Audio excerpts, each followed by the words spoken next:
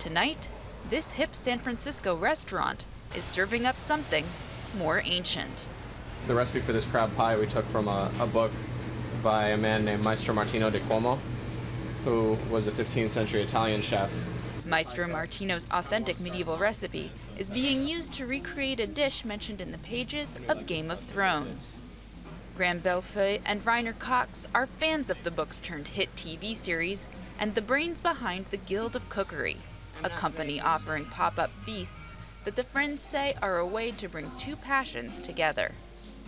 I'll generally read through the books and find the, the menus that I like, and so the research is, is basically, uh, you know, looking through all of my old cookbooks to try to find recipes that match.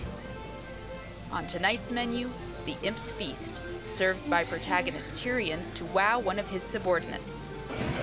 Oxtail soup, crab pie, and quail drowned in butter. Old school fare that fans and foodies alike seem to appreciate. The chefs are clearly working chefs to know their way around the kitchen.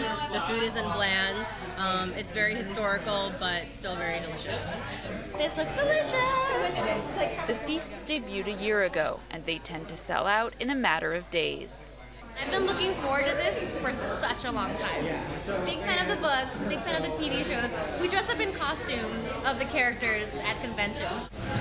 Behind the scenes, the Guild tries to stay authentic, ditching modern kitchen gadgets and sourcing ingredients as locally as possible. Cox says the chefs initially worried their scholarly approach would be seen as too nerdy. But now it's clear the feasts fit a current culinary trend. There's already such a vogue for uh, like these throwback things. You know, people want a pizza that's handmade. People want low-tech food. Everything with food technology is sort of forward is backward now, where things are becoming more local. They're becoming less industrialized. They're more handmade. They're more craft-oriented. Fans lucky enough to score a seat at the next feast should be adventurous. Past meals have featured such delicacies as snake stew and eel pie.